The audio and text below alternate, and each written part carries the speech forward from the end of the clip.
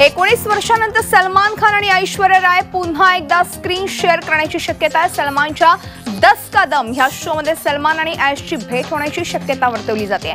फने खान या सिनेमाच्या प्रमोशनसाठी अनिल कपूर दस का दमच्या सेटवर हजेरी लावणार आहे. अनिल कपूर सोबत ऐश्वर्याही या शोमध्ये आपल्या सिनेमाच्या प्रमोशनसाठी येणार असल्याचं बोललं जात आहे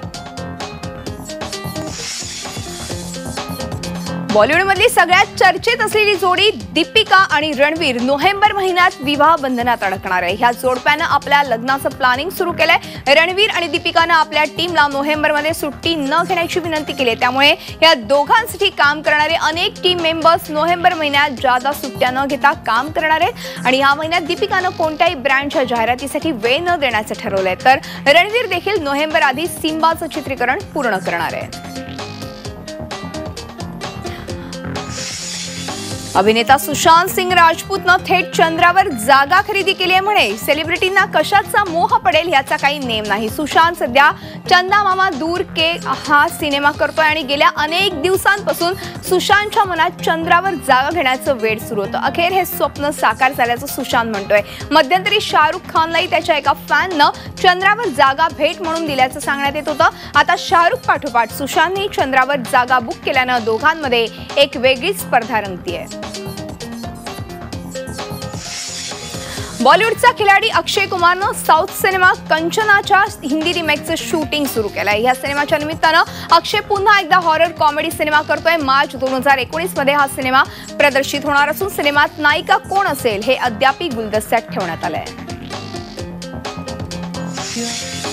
विरेदी वेडिंग मधून बेबो करीना कपूर खाननं बॉलिवूडमध्ये यशस्वी कमबॅक केलंय. आता करीना झोया अख्तरच्या आगामी सिनेमात दिसणार असल्याचं बोललं जात आहे तर सैफ अली खान आणि करीना कपूर पुन्हा एकदा स्क्रीन शेअर करणार असल्याची चर्चा आहे.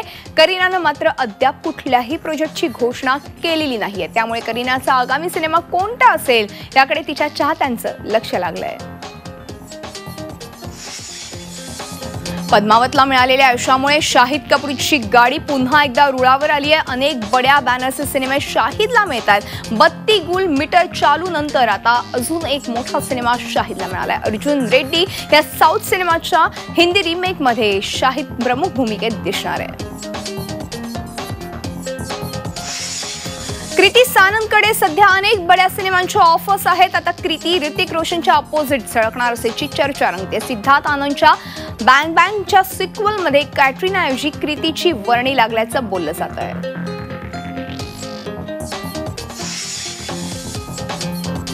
बोल्ड अँड ब्युटिफुल उर्वशी रौतेल्याला हे हिट स्टोरीला मिळालेल्या यशाचा फायदा झालेला आहे त्यामुळेच उर्वशी इंद्रकुमार यांच्या टोटल धमाल या बिग बजेट सिनेमात खास भूमिकेत दिसणार असल्याची चर्चा आहे. एवढंच काय तर शाहीदच्या बत्ती गुल मीटर चालू या सिनेमातही उर्वशीवर बोल्ड आयटम सॉन्ग चित्रित करण्यात येणार असल्याचंही बोललं जात आहे.